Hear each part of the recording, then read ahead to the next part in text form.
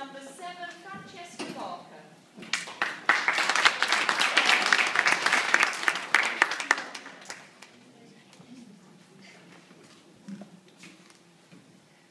Mm -hmm.